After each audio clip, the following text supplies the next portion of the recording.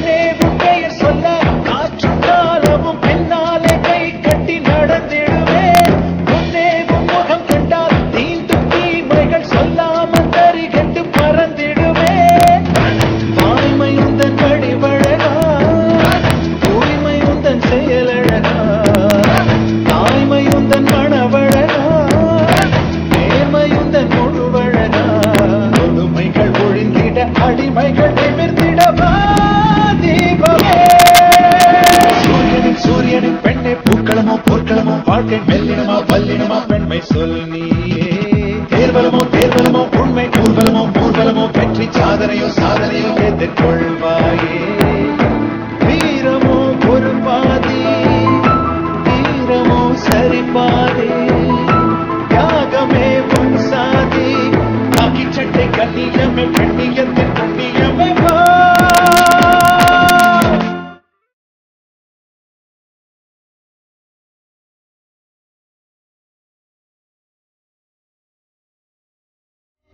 December பதினஞ்சாம் தேதியிலிருந்து தான் நான் அந்த பொண்ணு கூட இருக்கேன். மேடம் நான் பவித்ரா எழுதின டைரிய படிச்சேன். டிசம்பர் மாசம் பத்தாம் தேதி திருச்சி ஹாஸ்டல்ல இருந்து வரும்போது தான் ஆக்சிடென்ட் ஆயிருக்கு. ஆக்சிடென்ட் ஆகி ஹாஸ்பிட்டலுக்கு போகும்போது தான் பெரிய மனுஷங்க கிட்ட மாட்டியிருக்காங்க. சோ இந்த கவிதாங்கிறவங்க தான் உங்க தங்கச்சி பவித்ரா மேடம். அதுல எந்த டவுட்டும் இல்ல மேடம்.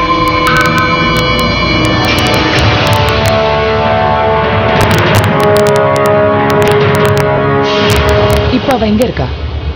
வீட்ல இருக்கா மேடம். ஆ. இவங்க இங்கே இருக்கட்டும். நான் சொல்ற வரைக்கும் அவங்க எங்கேயும் போக வேண்டாம். ம்? எஸ் மேம்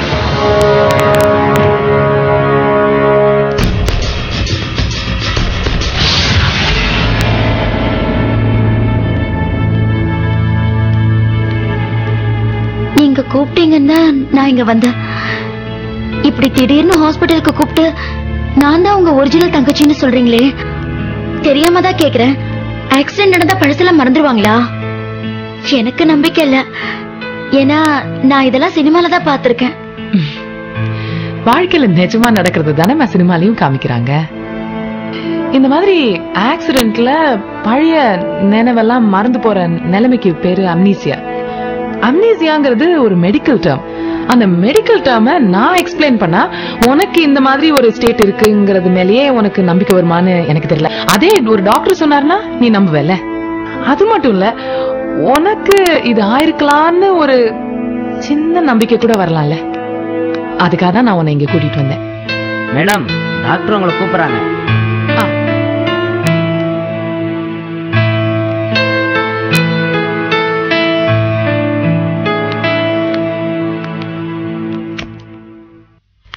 ஹலோ ஹலோ வாமா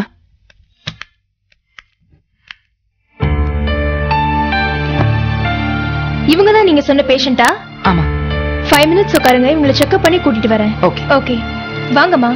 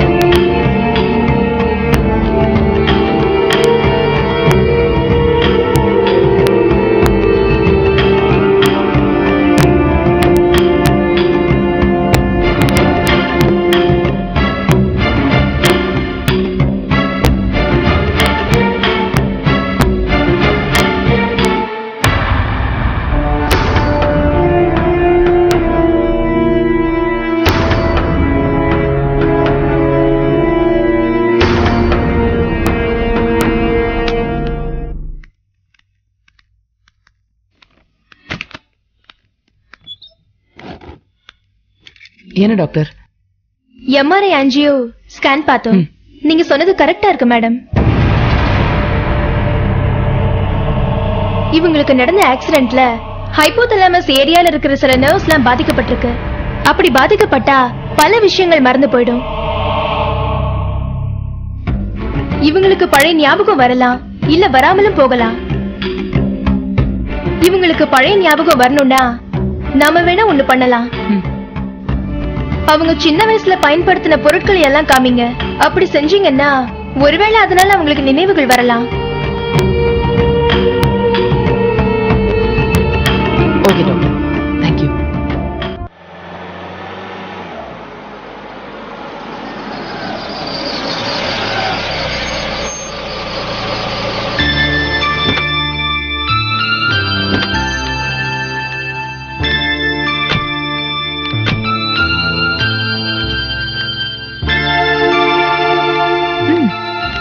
வாமா இங்க பார். இதுதான் நம்ம வீடு. இங்க இருக்கிறவங்க எல்லாரும் நம்ம சொந்தம் தான்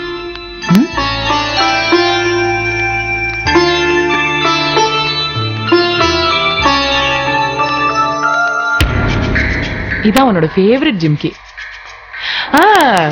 இந்த பெண்டன்ட் அப்பா இந்த பெண்டன்ட்ட நீ ஒரு சினிமால பார்த்து இதான் வேணும்னு அடம் பிடிச்ச. கடைசியில எவ்வளவு கஷ்டப்பட்டு டிசைன் பண்ணலப்பா இந்த கப்ஸ் ஸ்போர்ட்ஸ் டேல இது வந்து நான் வாங்கின கப்பு ஆக்சுவலா இதுதான் நீ வாங்கின கப்பு ஆனா ஸ்போர்ட்ஸ் டே அன்னைக்கு நான் வந்து ரெண்டு கப்பு வாங்கிட்டேன். நீ வந்து ஒரே ஒரு கப்பு தான் வாங்கினேன்ட்டு. ஆ எனக்கு ஒரே ஒரு கப்பு தான் ஒரே அழுக. அப்புறம் நான் சொன்னேன் இதை நான் உனக்கு கொடுக்குறேன் அப்படின்லாம் சொன்னேன். ஞாபகம் இல்லையா? ஏய் இத பாரு.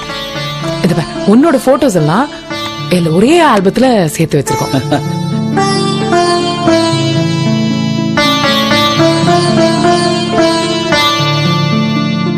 இது வந்துல ஃபேன்சி ட்ரெஸ் காம்படிஷனுக்காக நீ எனக்கு இந்த கலர் தான் வேணும்னு சொன்ன. அது என்ன கலர் கத்திரிப்பூ. கத்திரிப்பூ கலர் வேணும்னு அடம் பிடிச்சு அந்த காஸ்டியூம் தைச்சது.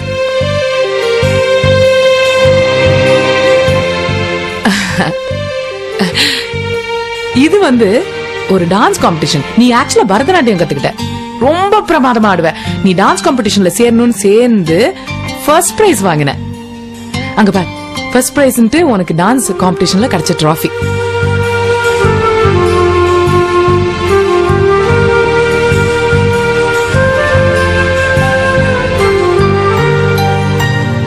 அதை வாங்கும்போது அம்மா அப்பாக்கு எவ்வளவு சந்தோஷம் தெரியுமா? ஞாபகம் இல்லையா? சரி நிறைய போட்டோஸ் இருக்கு பாரு. கொரத்தி. இதுவும் ஒரு ஃபேன்சி ட்ரெஸ் காம்படிஷனுக்கு தான். எனக்கு கையில இந்த தேள் பச்சை குத்தி இருக்கு பாரு. இது வேணும்னு சொல்லிட்டு நானும் நீயும் ரொம்ப பொறுமையா அந்த டிசைன் எல்லாம் போட்டோம். ரொம்ப கஷ்டப்பட்டு வரைஞ்சோம்.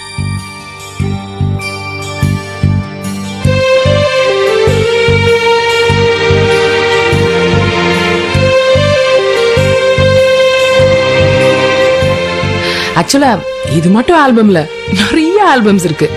அது ஒண்ணு நம்ம அது குற்றாலத்துல மெயின் ஃபால்ஸ் கிட்ட. நம்ம குடும்பமா நின்னுட்டு இருந்தோம். பின்னாடி ஒரு குரங்கு வந்து உன் பின்னல பிடிச்சி இழுத்துருச்சே.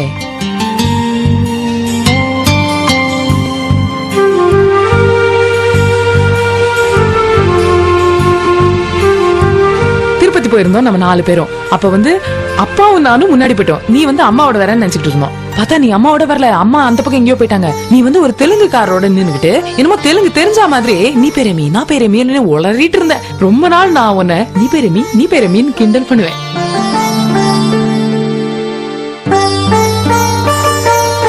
ஞாபகம் வருதா?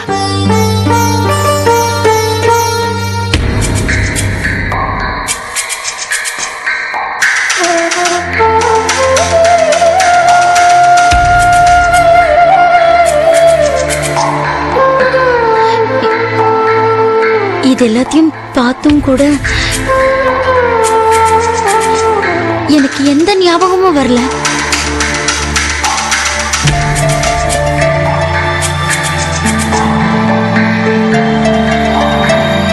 நான் யாருன்னே எனக்கு தெரியல.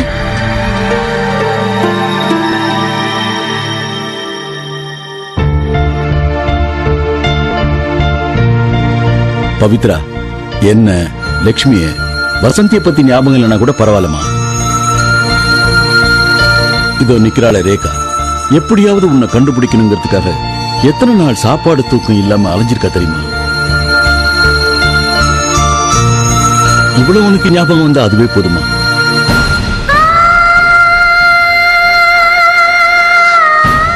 உங்களை பார்த்து பரிதாபப்படுறதா? இல்ல என்ன நினைச்சு பரிதாபப்படுறதா? எனக்கு தெரியல. என்னை பொறுத்த வரைக்கும் என்னோட ஞாபகத்துல இருக்கிற எல்லாமே கவிதாங்கிற பேர் மட்டும்தான். பவித்ராங்கிற பேர் கூட எனக்கு ஞாபகத்துல இல்ல. என்ன? ஐயோ என்ன பவித்ரா? அழாத பவித்ரா அழாத. ஐயோ அழாதம்மா அழாத. அழாத அழாத. இங்க பாரு உனக்கு ஞாபகம் வரலன்னா அது என்ன உன் தப்பா? உன் தப்பு இல்லடா அழாதடா. உனக்கு ஞாபகத்துக்கு வரும். அப்ப வந்து நீ என்ன அக்கான்னு ஓடி வந்து கட்டிப்பிடிச்சு அப்ப அழுவல? அத நான் பார்க்கணும். இத இல்லடா. ம்? அழாதடா. அழாத. இங்க பாரு. இவ்வளவு நாளா நான் உனக்கு ஞாபகம் வரும்னு வெயிட் பண்ணிருக்கேன் இல்லையா? எத்தனை வருஷம் வெயிட் பண்ணிருக்கேன்? இன்னும் கொஞ்ச நாள் வெயிட் பண்றதுல என்ன ஆயிடும்? சொல்லு. என்னால முடியாதா? அழாதடா? ஓகே? வா. அப்பா நான் வீட்ல போய் டிராப் பண்ணிட்டு வந்துடுறேன்ப்பா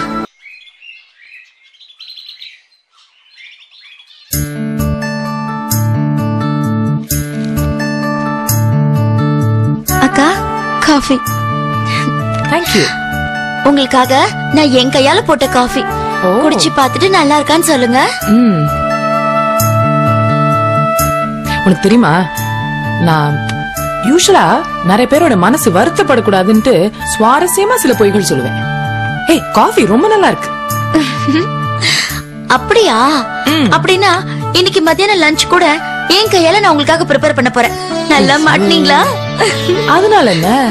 நான் கடவுள்கிட்ட வேண்டிக்கிட்டு ஐயோ கடவுளே என்ன காப்பாத்துன்னு சொல்லிட்டு சாப்பிட்டா போச்சு.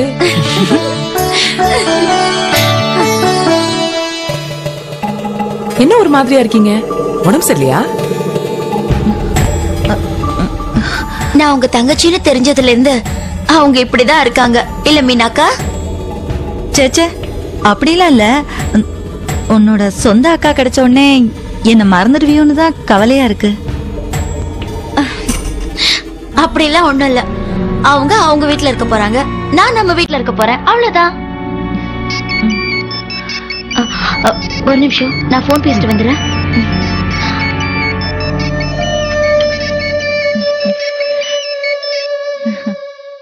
என்னங்க நானே உங்களுக்கு நாலஞ்சு தடவை ஃபோன் பண்ணேன். வாய்ஸ் மெயில போட்டு வச்சிருந்தீங்க.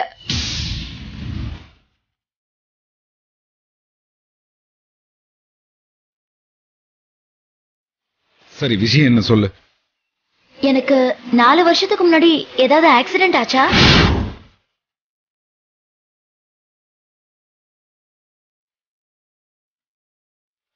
அதுல எனக்கு பழைய ஞாபகம் எல்லாம் மறந்துருச்சா? இதையெல்லாம் யாருமா உங்ககிட்ட சொன்னது? யார் சொன்னா என்னங்க? இதெல்லாம் ஏன் என்கிட்ட மறைச்சீங்க? உனக்கு ஆக்சிடென்ட் ஆகிறதுக்கு முன்னாடி நீ யாருன்னு எனக்கு தெரியாது. அதனால உங்கள்கிட்ட சொல்லணும்னு தோணல. அதனால சொல்லல. என்னங்க நான் யாருன்னு தெரிஞ்சிருச்சுங்க? போலீஸ் ஆபீசர் ரேகான்னு ஒரு மேடம் இருக்காங்கல்ல? நான் அவங்களோட தங்கச்சியா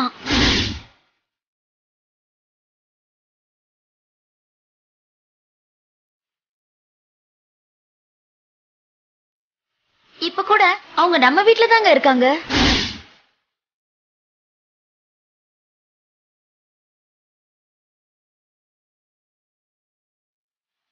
சரி மத்தது எல்லாம் நான் அங்க நேர்ல வர்றப்ப பேசிக்கிறேன். போன மீனாட்டு கொடுமா? ஒரு நிமிஷம் இருங்க கொடுக்கறேன்.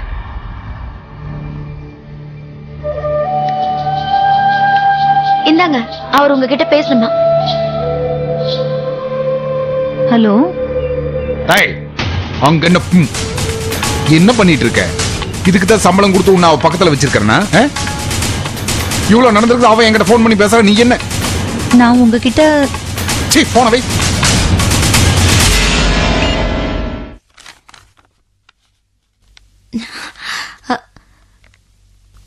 சாரிக்கா என் வீட்டுக்காரர்கிட்ட தான் பேசிட்டு இருந்தேன்.